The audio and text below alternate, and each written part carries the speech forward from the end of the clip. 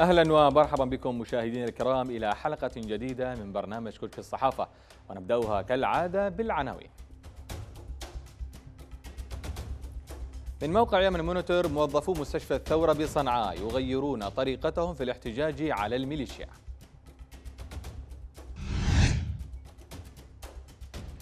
صحيفة عربية تقول شقق سكنية في حضرموت لأبناء من ضحوا بحياتهم في الحرب على القاعدة. محمد الشدادي يقول للشرق الأوسط بدأنا بتجهيز قاعات الاجتماعات ومقر مجلس النواب في العاصمة المؤقتة عدن.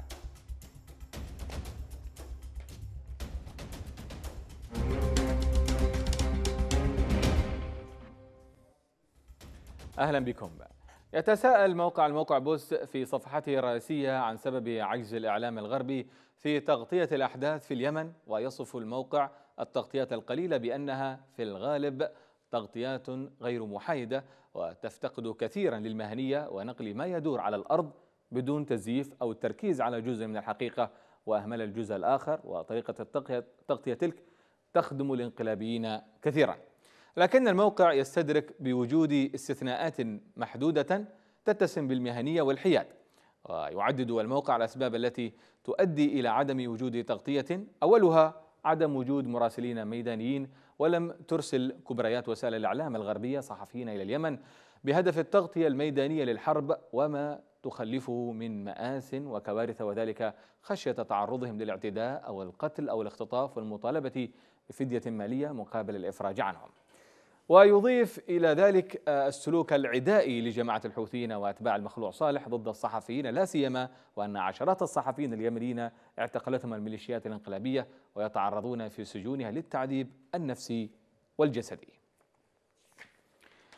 موقع يمن مونيتور يصف احتجاجات الأطباء في مستشفى الثورة في صنعاء بأنها تشهد تطورات جديدة في احتجاجات الموظفين بمستشفى الثورة في صنعاء حيث نفذ موظفو هيئة مستشفى الثورة العام مسيرات داخل المبنى وجابوا ممرات الهيئة وهتفوا مطالبين برحيل ممثل جماعة الحوثي من إدارتها مع استمراره مع استمرار 58 الاحتجاجات أو من الاحتجاجات لليوم التالي على التوالي.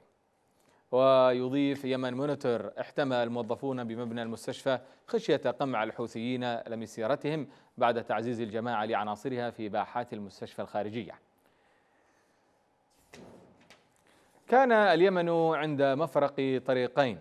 طريق التحول الإيجابي الذي ارتضاه الشعب والنخب السياسية والمكونات الاجتماعية ونال دعما ناجزا من دول الإقليم الخليجي والتحالف العربي الشامل بل العالم برمته. هكذا بدأ الدكتور محمد عبد العزيز مقاله المنشور أو عمر عبد العزيز مقاله المنشور في صحيفة الخليج تحت عنوان الساحة اليمنية مجددا وأضاف في جزء منه. الطريق الثاني كان متاهة الانقلاب الذي باشره تحالف الحوثي وصالح ابتداء من تعمد إفشال حكومة محمد سالم باسندوة من خلال الاعتداء على مصادر الطاقة الكهربائية والنفطية والغازية في سلوك لم يعرف له مثيل في عالم الخلافات والتباينات في الرأي. وكذا مباشرة سلسلة من الاغتيالات التي أومأت لذات السلوك المشين الذي دأبت عليه دوائر الإجرام السلطوي. ممن حولوا بعض أجهزة الدولة لعصابات مافياوية تأتمر بأمر زعيمها المدجج برتب ونياشين الدولة. سنتا الانتقال نحو تطبيق المبادرة الخليجية استنزفتا في العمل على الإضعاف المنهجي المتواتر لعناصر الدولة والمؤسسة حتى جاءت لحظة سقوط المريع للعاصمة صنعاء لتعكس المعاني الشاملة لمنطق التدمير المتواصل للقيم المؤسسية. ولتكشف الوجه المريع لمافيا الظل الموازية للدولة والمتحكمة في أقدارها ومصيرها. سقطت العاصمة صنعاء ومعها استبيحت الدولة ومؤسساتها وبدأت ميليشيات الاقتحام المناطقي ضيق الأفق في اندفاع مجنون صوب مصيرها القادم. وكان ذهاب الميليشيات القبائلية إلى عدن ترميزا أقصى لمعنى الجنون ودلالة الصراع التاريخي الموضوعي.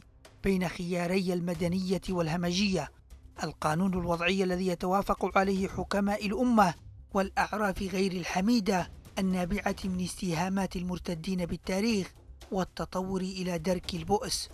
الآن وبعد هذه الاستعادة الوامضة يمكن القول إن السيناريوهات الافتراضية تتنوع بتنوع مقدماتها وإن القادم سيحمل في طياته وتضاعيفه ما يعبر عن تلك المقدمات وإن السجال السياسي والميداني يشيء بتحديات جديدة تتناسب مع ما جرى ويجري في الساحة اليمنية. وصف موقع الصحوة نت التهم التي وجهتها الميليشيات في صنعاء لستة وثلاثين معتقلا بأنها تهم ملفقة ومتعددة. منها تهم بالاغتيالات ومساندة ما أسمته بالعدوان ورفع الإحداثيات. وكانت محكمة أمن الدولة المحكمة الجزائية المتخصصة بصنعاء والخاضعة لسيطرة ميليشيا الحوثي والمخلوع. بدأت بالجلسة الأولى لمحاكمة 36 مختطفا. وقال المحامي عبد الرحمن برمان إن المختطفين يواجهون أحكاما قاسية من قبل القضاء المنحاز وفي ظل غياب الإعلام والمنظمات الحقوقية وجلسات متسارعة.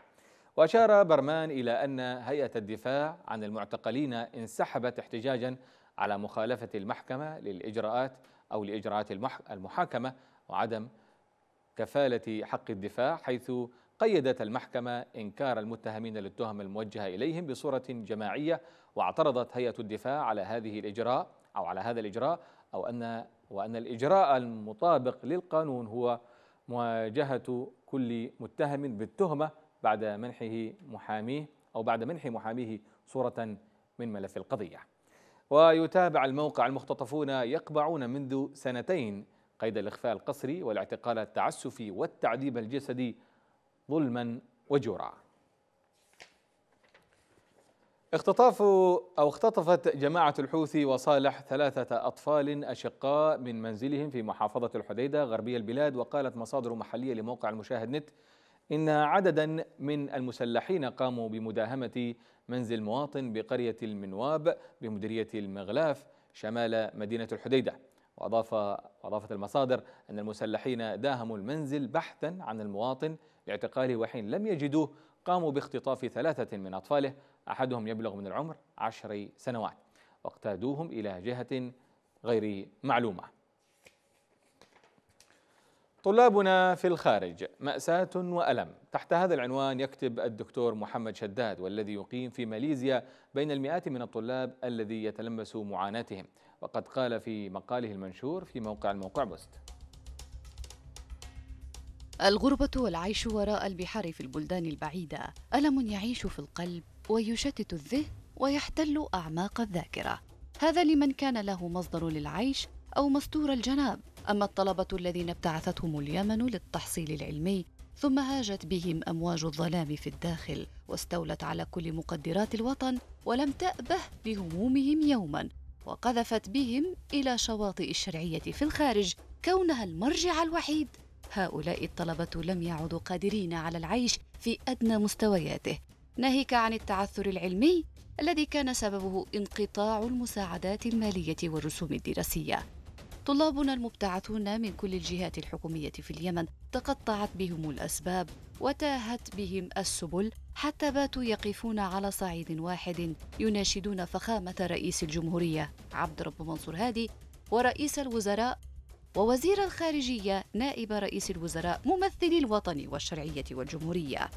وقفوا اليوم بكل أطيافهم الفكرية سواء الواقفون مع الانقلاب أو الداعمون للشرعية. مناشدين كل أصحاب الضمائر الحية لأنهم أيقنوا أن لاعبي البيضة والحجر في الداخل قد أفلسوا وانقطع حبل كذبهم وغوايتهم القصير. وكما هو معلوم فإن عملية الابتعاث والمنح الدراسية هي عملية استثمار للعقول على المدى البعيد. وتلك الأموال التي وإن تم استثمارها بطريقة علمية منهجية صحيحة في تعليم النشء من أبنائنا وفتح آفاق للباحثين فإنها لن تضيع. وستأتي أكلها حتما ولو بعد حين. تلك العقول التي إن اهتم بها الوطن حملوه على أكتافهم وأسكنوه قلوبهم وتغنوا به ليلا نهارا حيثما حلوا وأينما ارتحلوا. وعادوا إليه كثمار يانعة لبنائه في قلوبهم قبل بنائه على الأرض.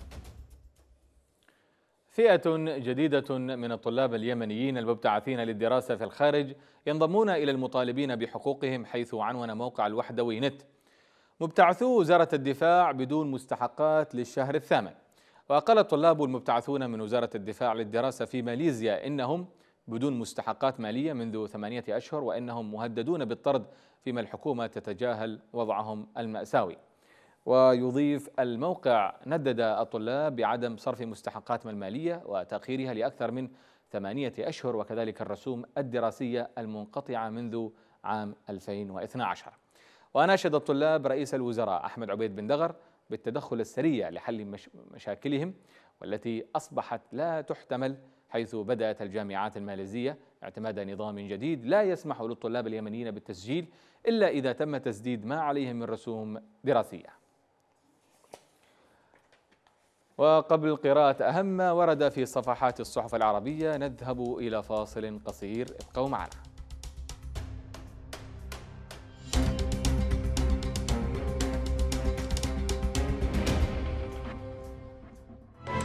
مساء يكتمل المشهد. حين نلقي الضوء على مستجدات الأحداث. النقطة الأولى كانت تتعلق بالضبط بوقف إطلاق نستكشف تفاصيلها لتكتمل الصورة. وتتضح أبعادها.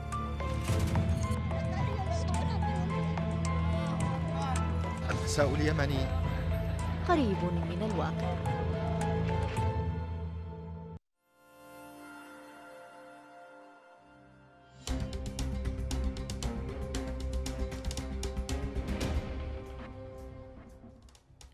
أهلا بكم من جديد. تحدثت صحيفة العرب الجديد عن صراعات أجنحة الميليشيا في صنعاء وعنونت الصحيفة. اليمن. الحوثي وصالح يتصارعون على أموال التأمينات. وقالت الصحيفة تشهد العاصمة اليمنية صنعاء صراعا على الموارد بين طرفي تحالف الانقلاب من جماعة المتمردين الحوثيين وأنصار الرئيس المخلوع صالح بعد أن اتسع الخلاف مؤخرا بشأن أموال هيئة التأمينات الحكومية. وأكدت مصادر في هيئة التأمينات الحكومية للعرب الجديد أن مسلحين حوثيين اقتحموا مبنى الهيئة العامة للتأمينات في صنعاء لفرض رئيس لها بالقوة هو القيادي الحوثي عبد السلام المحطوري المحطوري. قالت المصادر طرد الحوثيون رئيس الهيئة السابق وفرضوا أحد الموالين لهم بالقوة مع انتشار عسكري كثيف حول مبنى الهيئة. واتهمت الحكومة اليمنية الشرعية طرفي الانقلاب من الحوثيين وأنصار الرئيس المخلوع بالسعي لنهب أموال التأمينات ومنها 200 مليون دولار وأرصدة نقدية في حسابات الهيئة بفرع البنك المركزي اليمني في العاصمة اليمنية. الجنود الذين ضحوا بحياتهم في حضرموت في سبيل تحرير المحافظة من تنظيم القاعدة ستحصل أسرهم على التعويض ووفقا لصحيفة الاتحاد فقد قررت السلطات المحلية في حضرموت جنوب شرق اليمن صرف تعويضات لأسر الشهداء الذين ضحوا بحياتهم من أجل تحرير المحافظة من سيطرة عناصر تنظيم القاعدة الإرهابي. وأكد المحافظ اللواء الركن أحمد سعيد بن بريك أن التعويضات تتضمن منح شقق سكنية لأسر الشهداء وتخصيص أرض سكنية لهم. سيتم الإعلان عنها خلال الأيام القادمة في الذكرى الأولى لتحرير ساحل حضرموت من سيطرة القاعدة وأن هذه المنحة تأتي تكريما ووفاء لتضحيات الشهداء في الذود عن الوطن وأمنه واستقراره. في تغطيتها لسير المعارك الميدانية قالت صحيفة الحياة اللندنية إن القوات الشرعية تقدمت في جبهات القتال وتمكنت من دحر الميليشيات من مواقع من مواقع استراتيجية كانت تتمركز فيها في مديرية ميدي تجاه جبهة حرب. وتضيف الصحيفة تستعد وحدات أخرى للتقدم إلى الحديدة حيث تطوق معسكر خالد بن الوليد شرق ميناء المخا. وعن المواجهات في جبهات تعز تقول الصحيفة لا تزال المقاومة الشعبية يساندها طيران التحالف التي تكبد الميليشيا خسائر كبيرة على مختلف الجبهات. انزلاق الشعبوية إلى الاستبداد. تحت هذا العنوان كتبا ماكس فيشر وأماندا توب مقالهما المنشور في صحيفة الحياة اللندنية وقال في جزء منه. حين بلوغ هوغو شافيز سدة السلطة في فنزويلا قبل عشرين عاما رفع لواء شعبوية يسارية لإنقاذ الديمقراطية. ولكن سياسته أفضت إلى انفجار الديمقراطية في البلد وانتهت قبل أسبوع إلى تقويض استقلال السلطة التشريعية. ولا ريب في أن مصير فنزويلا يدق ناقوس الخطر وتظهر الشعبوية على أنها سبيل إلى الديمقراطية ولكنها قد تنتهي إلى تراجع الديمقراطية أو إلى استبداد صريح وغالبا ما يكون الاستبداد مآل الشعبوية الحتمي. وثمة عوامل أخرى ساهمت في انهيار فنزويلا منها هبوط أسعار النفط والبلد هذا يعيش التنازع الجوهري بين الشعبوية والديمقراطية. والتنازع هذا يعم أصقاع المعمورة وإذا لم يقيد بضوابط ديمقراطية تفاقم إلى حين رجوع كفة أحد النظامين الديمقراطي أم الشعبوي. وموجة الغضب الشعبوية التي حملت شافيز للسلطة في انتخابات 1998 كانت وراءها الشكوى من حال الديمقراطية في فنزويلا. كتب كاسمود باحث هولندي في السياسة في الجارديان البريطانية أن الشعبوية هي رد ديمقراطي غير ليبرالي على ليبرالية غير ديمقراطية. فشافي شأن غيره من القادة الشعبويين أبلغ مؤيديه بأن علة مشكلاتهم سببها نخب ومؤسسات غير ديمقراطية وأن الحل هو قائد قوي يفرض إرادة الشعب. ويرى قادة شعبويون من أمثال شافيز أنهم يمثلون إرادة الشعب وأن المؤسسات الخارجة على سيطرتهم هي عائق يجب تجاوزه وهذا خلاف الديمقراطية. فالديمقراطية الليبرالية هي مساومة بالغة التعقيد بين الديمقراطية الشعبية والنخبوية الليبرالية. وهذه ديمقراطية في جزء منها فحسب. كشف نائب رئيس مجلس النواب اليمني محمد الشدادي لصحيفة الشرق الأوسط عن عودة قريبة للبرلمان اليمني لممارسة أعماله من العاصمة المؤقتة عدن. وقال إن البرلمان سيمارس أعماله التشريعية والرقابية في الأيام القليلة المقبلة وأن العمل جار حاليا لتجهيز قاعة الاجتماعات ومقر المجلس والأمانة العامة لافتا إلى أن عودة المجلس إلى العمل من عدن تستند إلى قرار من الرئيس عبد الرب منصور هادي بنقل الجلسات إلى عدن. قالت صحيفة الوطن السعودية في أحد عناوينها الحوثيون يصادرون الأراضي بالتزوير. وذكرت مصادر من صنعاء أن جماعات الحوثي قامت بتزوير وثائق وحجج لأراض شاسعة تحيط بالعاصمة صنعاء بما فيها أرض كان أحد أبناء المخلوع صالح قد استولى عليها. مشيرا إلى أن الحوثيين وضعوا أيديهم على تلك الأراضي بالقوة الجبرية وانتزعوها من أصحابها لعمل حزام كامل على العاصمة صنعاء لتكون خاضعة لميليشيا الحوثي وأتباعهم. وأضاف أن مواجهات اندلعت في وقت سابق بين مزارعين وجماعة الحوثي بعد استيلاء الميليشيات على مزارع المواطنين الذين قاموا بال أو الذين قاوموا الجماعة بطريقة شرسة للدفاع عن أرضهم. لذلك أكدت مصادر في الحديدة أن ميليشيا الحوثي وجماعة المخلوع صالح ستستنفر لجمع السكان في الحديدة وإجبارهم على الخروج في مظاهرات وأضافت أن السكان يعارضون تلك المشاركة ويريدون التخلص من الانقلاب إلا أنهم لا يستطيعون الإفصاح بذلك خشية القتل والتنكيل من الجماعات. دنيا المغترب تحت هذا العنوان كتب العراقي خالد القشطيني مقاله المنشور في صحيفة الشرق الأوسط وقال في جزء من المقال. في أواخر القرن التاسع عشر ظهرت في الغرب على الخصوص القارة الأمريكية ظاهرة المهجر العربي.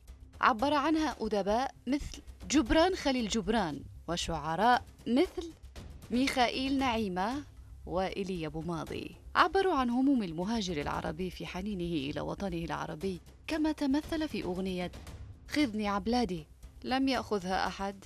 فبعد قرن من الزمن في أواخر القرن التالي القرن العشرين توسعت الظاهرة وانتقلت إلى القارة الأوروبية في شخصية المغترب العربي. شعراء أدباء موسيقيون فنانون هربوا من وطنهم العربي ولاذوا بأوروبا. شرقها وغربها. راحوا ينظمون ويكتبون ويحررون وينشرون في العواصم الغربية موسكو، برلين، براغ، شرقا، باريس، لندن، فيينا غربا. راحوا يعبرون عن نفس النغمة الحنين لبلدهم الأصلي ويبكون على ما حل به من نكسات وخيبات وانقلابات. كان من هؤلاء الشعراء البارزين محمد مهدي الجواهري. الذي نشر ديوان بريد الغربة ونظم قصيدته العصماء سلام على دجلة. كان من هذا الرهط أيضا بولند الحيدري صاحب قصيدة ساعي البريد ماذا تريد؟ أخطأت. لا شك فما من جديد. تحمله الأرض لهذا الطريد. أحاط به في لندن وباريس عدد من أدباء بلده. كان منهم صديقه أنيس عجينة. الذي بعث إليه من باريس بهذه الأشعار السوداوية. بولند يا من أنت ملء خاطري. غربتنا سوداء كالمقابر. قل متى نعود للبلاد. وننقذ الأرض من الفساد. في فقرتنا المصورة قطع المصور الكندي كريستوفر هيروغ ما يزيد عن 18 ألف ميل في زيارة لأكثر من 14 بلدا محاولا التقاط صور لأغرب مواقف الحافلات. نتابع وقد وردت هذه الصور في صحيفة الإمارات اليوم.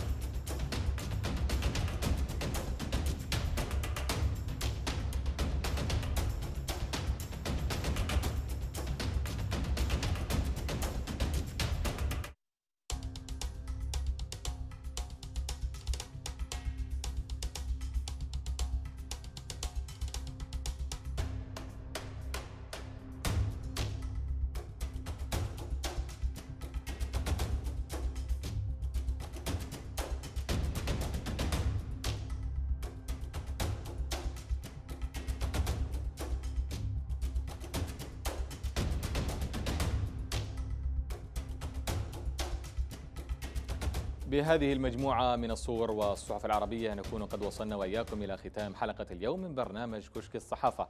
نترككم الآن مع مجموعة من رسوم الكاريكاتور. إلى اللقاء.